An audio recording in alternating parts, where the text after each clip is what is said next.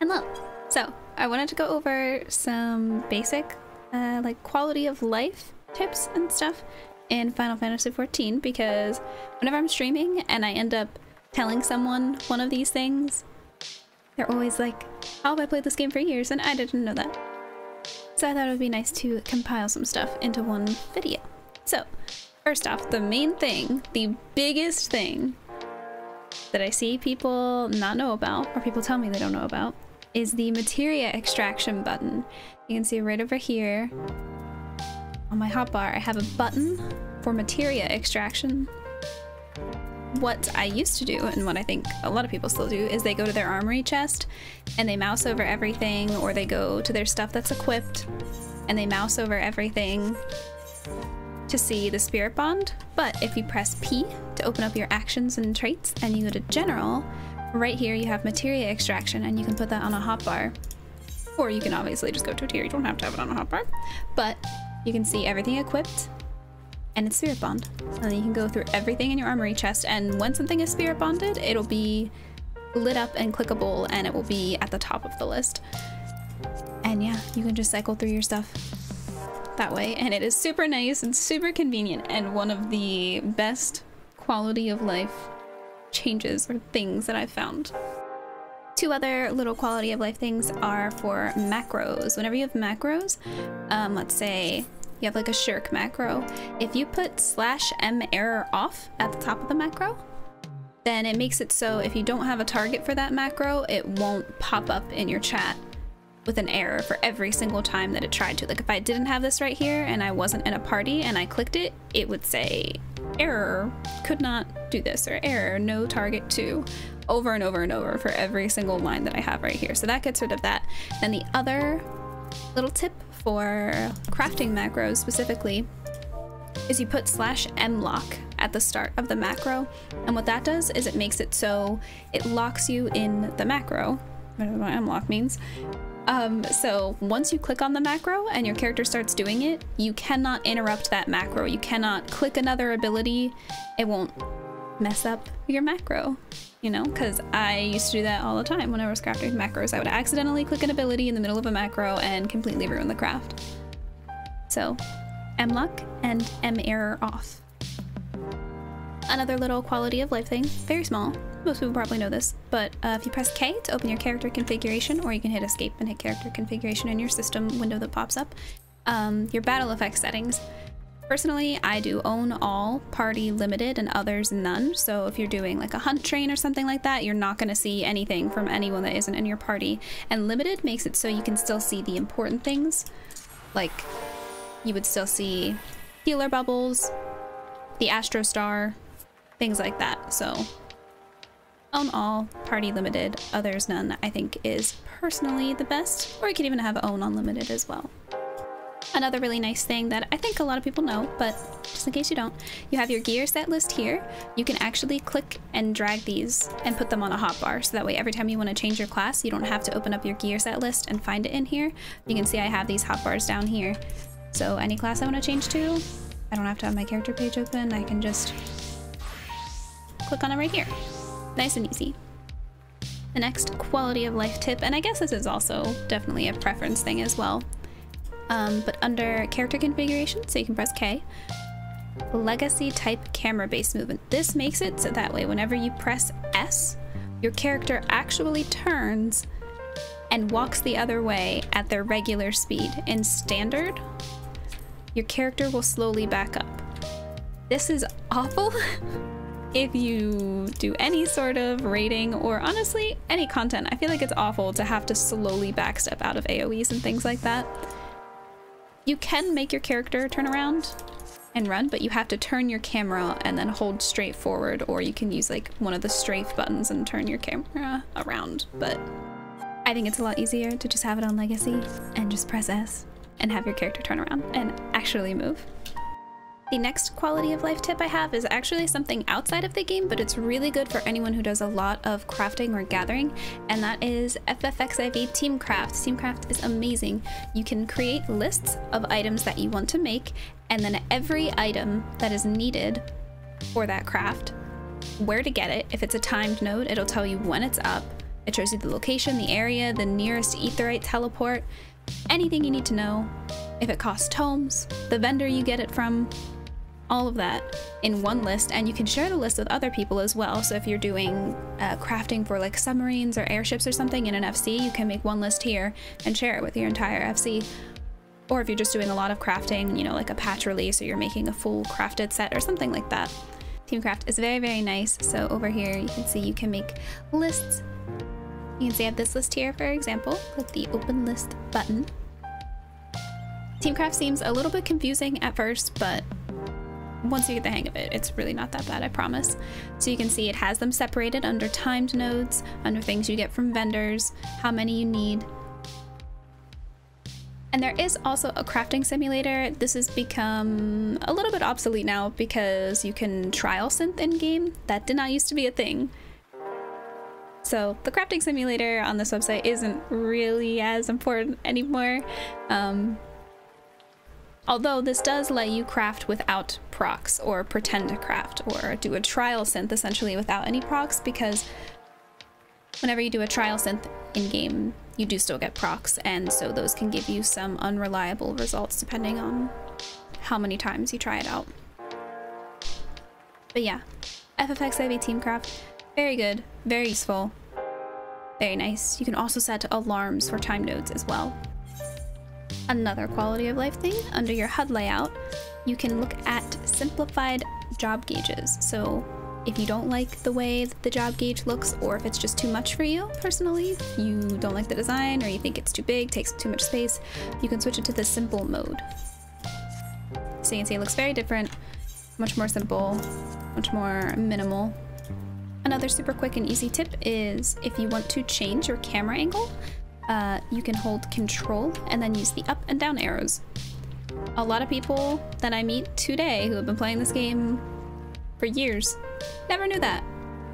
It is very, very, very helpful, not just for like taking screenshots and stuff, but whenever you are doing a fight, because normally your character is centered, so I think normally the camera would be like this. And I can't see anything if the boss is huge and they're over here. I can't see what they're doing. I can't see what's going on. So I like to uh, have it so the target bar is basically right under my character. That feels nice and comfy for me. I have a really good view of the arena, the boss, everything that's happening. If you click on your target info or just your target, normally I think by default it starts as a bar at the top of your screen. You can actually split it. So you click on it and then you click on the little, the little cog wheel right here and you can click on, you can check this box right here, display target info independently, and you can move around the progress bar, their status effect, um, like, you know, buffs and debuffs that they have, and you can change the size of everything as well. So I have the progress bar, you can see 140%, I have that pretty big because seeing things at the boss's cast is uh, pretty important. the UI and HUD in this game is very customizable. Something else that I really, really like and was very glad whenever I figured out, you can see no one here has names, and that is because I have them turned off unless they are in my party or on my friends list. And it wouldn't be that big of a deal here, but in more crowded areas like Limsa or Gridania, Ul'dah, places like that, especially Limsa, considering that's where people go to market board hop and everything. There's a lot of names there. there are so many names or when a new MSQ patch comes out and everyone is in the same spot clicking on the same NPCs, which on that note also, you can press X and that gets rid of character names and makes it so you can click through them. You can hold X and then there could be a billion people standing around this NPC and you would only be able to click the NPC. But anyway, press K to open your character configuration again. On the left side, you have display name settings, and under others, other PCs, I have when targeted. So if I wanted to see someone's name, I could just click on them and then I see their name. Crazy. It's very nice. I have that set for under NPCs. I have it set to minions as well when targeted and housing furniture when targeted. Housing furniture when targeted. If you've ever been in a house that is decorated with a ton of stuff and you see those little white arrows everywhere, like in your FC or a house that you own or a house that you share the ownership of, and you see the little white arrows everywhere. Oh my god, it bothers me so much. I don't know how it doesn't bother other people, but if you change this to when targeted, it gets rid of those little white arrows. So, yeah, minions when targeted, housing furniture when targeted. So you can see if I click on my ferret, I can see its name and the owner, but that's not always there. It just gets rid of so much clutter, makes the game look a lot nicer in my opinion. A couple little settings you can change in the UI settings and hotbar settings under your character configuration screen is you can disable the inventory grid. You can see that's this thing over here, which is currently behind a hotbar. I feel like that is extremely useless and just unnecessary clutter, so I get rid of it. I have never heard of anyone actually using that for reference of anything, so I get rid of that personally. And then because I gather a lot of time nodes, and whenever you look in your uh, gathering thingy thing, your gathering log, that is the time that it gives you. It gives you Eorzea time for when the time nodes are up. So I have Eorzea time and server time showing up here in the top right of my screen. So that's really nice if you gather a lot of time nodes. And then over here on the side, you can click on hotbar settings and you can check hide unassigned slots. So you can see I have all these unassigned slots and that gets rid of it. Looks way nicer. And uncheck display hotbar numbers because again, it just looks nicer. Less clutter, looks cleaner. Unless you like them there. Obviously, then feel free to leave them there. Something else you can do that's very nice that people always tell me they had no idea about is the command slash iSearch. So if you type slash iSearch, and let's say I want to know where my Makai chess piece is, or one of them, or any of my Makai gear, the old Garo PvP event gear, which they're actually bringing back. I type slash iSearch space Makai, and everything that I have that has that word in it will show up. And if I want to know where it is, I just right click it and search for item, and then it tells me where it is. So if you ever are looking for something or you're not sure if you have something, slash iSearch space, and then just type whatever keyword you're looking for. There you go. iSearch is extremely useful. Another quality of life tip that I have, especially now since they increased teleport costs, are teleport tickets. These Aetheryte tickets right here, you can purchase with allied seals and Centurio seals. The allied seals you will be spending at your grand company, so either in Gridania or Ul'dah or Limsa, whichever grand company you have. You want to talk to the Hunt Billmaster. Allied seals, other. I cannot currently afford any, but you can see five allied seals gets you one, and it is a free teleport.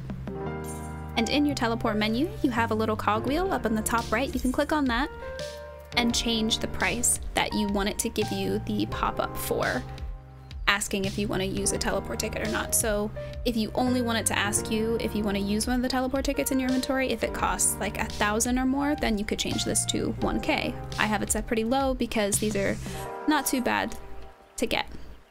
And the other place you get them from with Centurio seals is in Foundation. So the Foundation teleport and then the Forgotten Knight is the closest Aethernet shard. And then it's in this building down here. You talk to this guy, Ardalane, Clan Centurio member. And exchange Centurio seals. Right here, Aetheryte tickets. Five Centurio seals for one ticket. If you don't have any Centurio seals, you could just go to the board that's right outside of the building and just take the B rank. Don't worry about all the smaller ones. They're not really worth it for the amount of uh, seals that you get. But you could just do the Elite Clan Mark Bill weekly. You can see that gives you 100 Centurio seals. So that's easy. Aetheryte tickets, as well as just any other hunts that might pop up if you're in a hunt linkshell or anything like that. Uh, especially like older S ranks. They will give you both Allied seals and Centurio seals. So those are easy peasy Aetheryte tickets. Especially in this economy. The next tip I have, which I didn't even know about until I don't know, it was a little before P1S came out. In your party list, so you press O to open your party list. Down here, this cogwheel, you can change the amount of status effects that are shown next to each party member's name. I did not know this. It is extremely helpful. Extremely helpful, especially if you're progging a fight, especially if you're blind progging a fight It is very, very helpful. I have it set up to eight personally. You can set it to however many you want, but it's really, really helpful.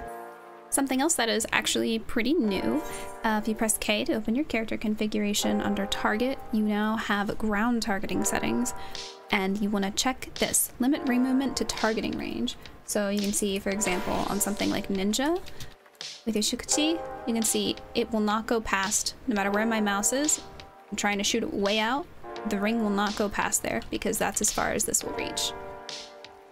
And the last thing, which I'm pretty sure everyone already knows about, but gonna throw it in here, just because why not, I really like it. Press K, open your character configuration under item settings on the side, inventory interface, and retainer inventory interface. I have the retainer one expanded, and I have inventory interface to open all, so I can see my entire inventory right here. And obviously you just right click at the top if you want to change the size of it. Yeah, I like to be able to see everything rather than in groups of four. And then I believe expanded, you see two at a time. So you have two inventory pages. With the normal, you have four inventory pages, and then open all, you obviously just have one because it's all open. And then another little thing right here, store all newly obtained items in the armory chest. I like things to go to my inventory, personally. Just keeps the armory chest a little less crowded, a little less messy, especially whenever you're someone who levels everything. Your armory chest gets very full very quickly, so I like new things to go to the inventory, personally. Okay, and that's everything that I have to go over for now. Thank you guys very, very much for watching. I hope at least one of these things was new information or helpful in some way, shape, or form. Plan on trying to make more helpful type videos in the future, so if you're interested in any future videos I make, you can subscribe. And yeah, thank you very much for watching. I really appreciate it. And I will see you guys next time. Goodbye.